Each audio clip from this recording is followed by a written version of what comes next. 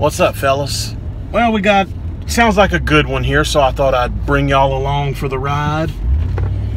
Customer, I just got off the phone with the customer, and he says uh, that he put a new capacitor on himself, and uh, he he said the fan motor had its own separate capacitor, and he put on a capacitor for the compressor.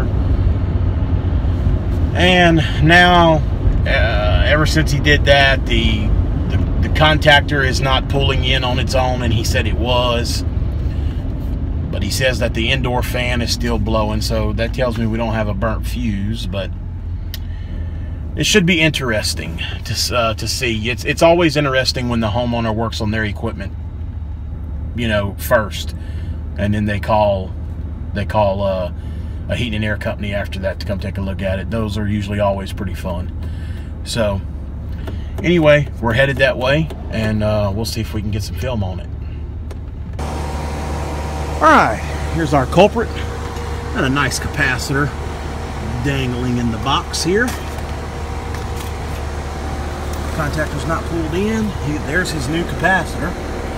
It actually looks like he's got it wired right. I'm gonna try this right here. Nope, that's not it. All right, guys, let me get my meter out and start doing some troubleshooting. All right, guys, after doing some troubleshooting, this is our this is our incoming power from the field connection. I had 24 volts between common and red, which should always be present. And then I had it between common and yellow, which tells me that we have a call for cooling. But when I check it right here for Y out and common, we do not have 24 volts. So I tested this high pressure switch to make sure that it wasn't open and it's not, it's closed. And then, so I removed the defrost board. And if you look right there, we got us a nice burnt spot right where Y1 and common come out. It's nice and burnt right there. So we're gonna run to the supply house and get a defrost board. All right guys, I have my new parts, I have my defrost controller and a new contactor.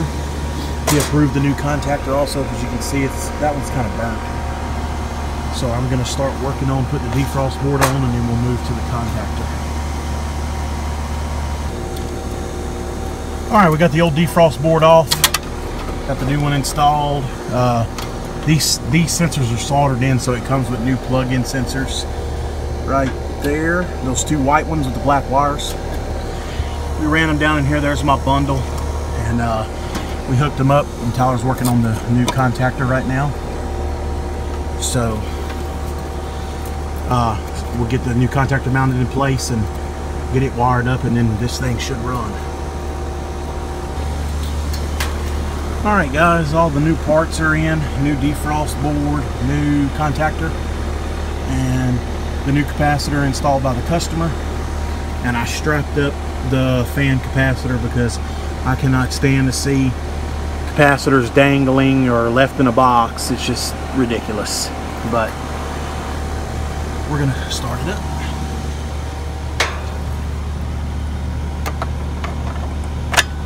Wrong way.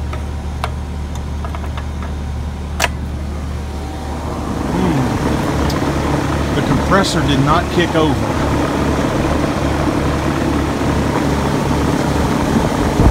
So that's not good. And I pushed the contactor in manually before I did all this and the compressor did kick over. So let me figure out what's going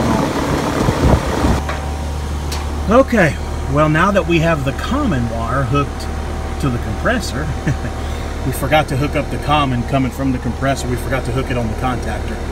See, anybody can make a mistake. But now that we've done that, let's try this again.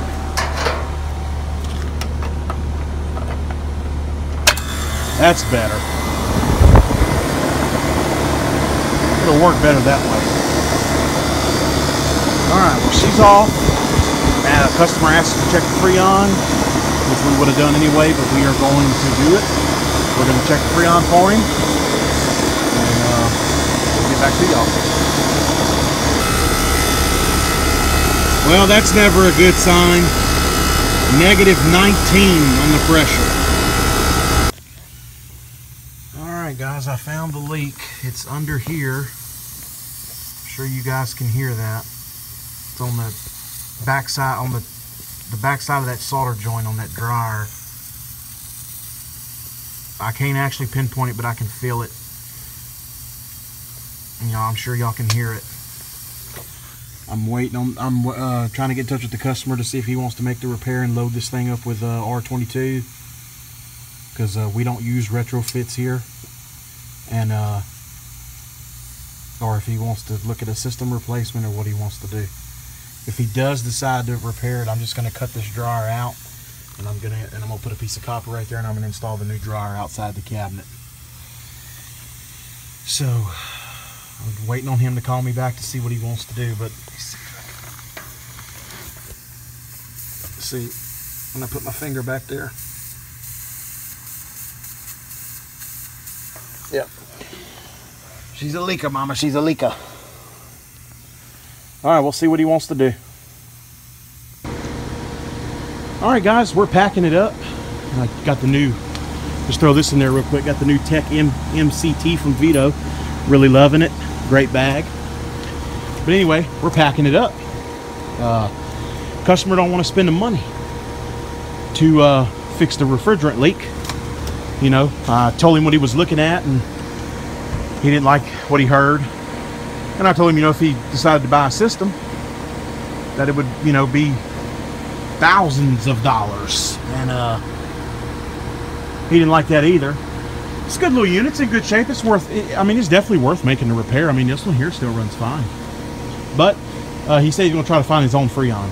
So, you know, and, and you know, I, I kind of figured, you know, that that it would be, you know, something like this. I mean, not talking bad about the customer or anything. I mean, if that's what he wants to do, that's what he wants to do. You know, because I mean, when when I was dispatched this call, you know, I was told that he, you know, he had made repairs to the unit himself. He had put a new capacitor and tried to make other repairs. So I kind of figured that he wouldn't want to go with the repair, but it is what it is.